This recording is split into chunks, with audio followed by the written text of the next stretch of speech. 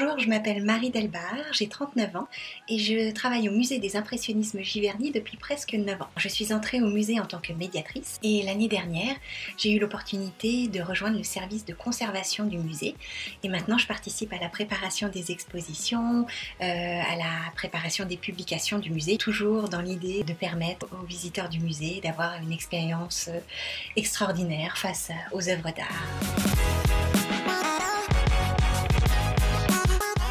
Toujours beaucoup aimé les musées, j'en ai beaucoup visité avec ma famille, donc ça m'a mis euh, un peu de temps, je crois, à réaliser qu'un musée c'est un endroit où on peut travailler en fait aussi. Ce qui m'a aidé, je pense, à découvrir ça, c'est euh, une professeure de, français au collège qui avait fait un projet tout à fait merveilleux, euh, qui nous avait emmené visiter plein de musées, et qui nous a permis aussi de rencontrer des personnes du service régional d'archéologie, d'aller au Louvre, non seulement dans les espaces d'exposition, mais dans les bureaux, les ateliers de restauration, le service des éditions, donc c'était tout à fait fascinant et je pense que c'est ça qui a planté la petite graine dans ma tête.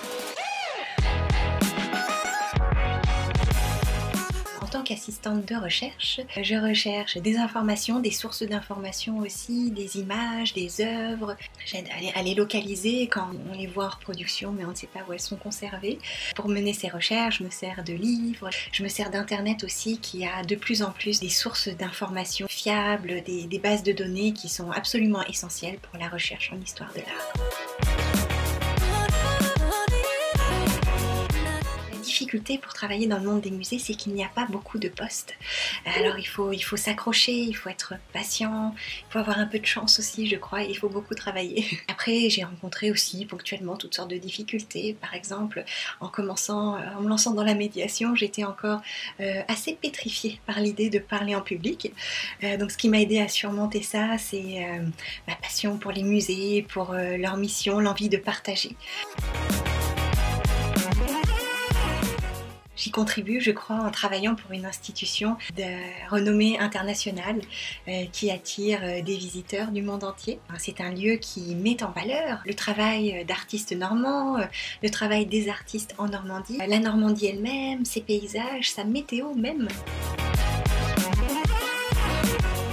Je crois que mon arme secrète, c'est la curiosité. Je suis persuadée que c'est elle qui me permet de bien faire mon travail et aussi euh, de rester motivée puisqu'il y a toujours euh, des nouvelles questions à explorer, des nouveaux sujets, des nouveaux euh, mystères à éclaircir.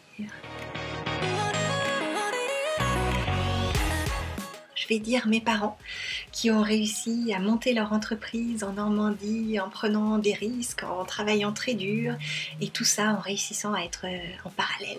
Des parents extraordinaires pour moi et mes sœurs qui sont aussi des Normandes audacieuses et des entrepreneuses. Je suis très inspirée par ma famille.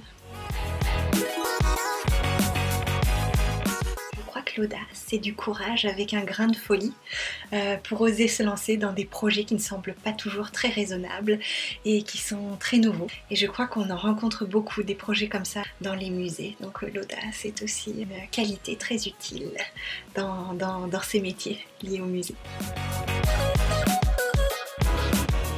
rester dans le même thème, euh, je leur conseille d'aller dans les musées quels qu'ils soient, que ce soit beaux-arts, histoire, archéologie, sciences naturelles.